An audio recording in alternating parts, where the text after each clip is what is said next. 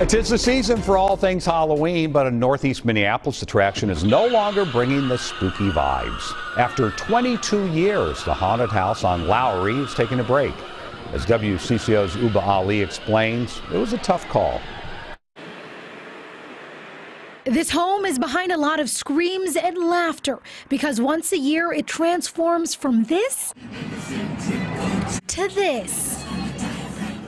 I like doing the decorating for Halloween. I like people being able to see it. This homemade haunted house started as a hobby for Mark Lazarchik and his family. The haunted house on Lowry draws thousands of people to its backyard for a night of horror. I enjoy listening to the, the families and the kids saying what they say after going through it. This year, the screams will go silent.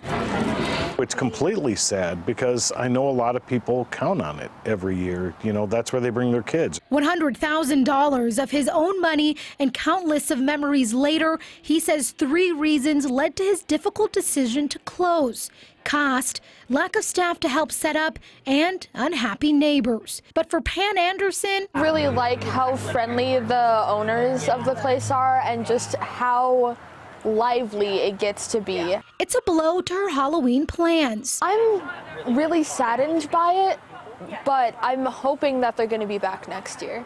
Lazarchik says he's hopeful for the future and he's not ruling out a haunted house return someday. It's a possibility. In Minneapolis, Ubah Ali, WCCO News. Lazarchik says he's looking forward to a Halloween with no tricks, just treats.